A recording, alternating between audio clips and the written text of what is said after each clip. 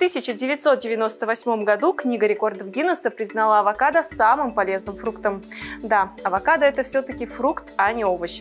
Кстати, есть его начали еще 10 тысяч лет назад в Южной Америке. Всем привет, с вами Аза Кашапова. О погоде на среду 3 мая смотрите прямо сейчас. Как сообщает Гидромедцентр, по северным районам облачно. Днем плюс 4, ночью минус 4.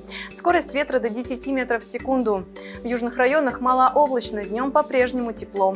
Плюс 11, а ночью похолодает до минус 2. Порывы ветра до 7 метров в секунду. В Улан-Удэ солнечно, днем плюс 10, ночью минус 3. Синоптики обещают ослабление порывов ветра до 9 метров в секунду.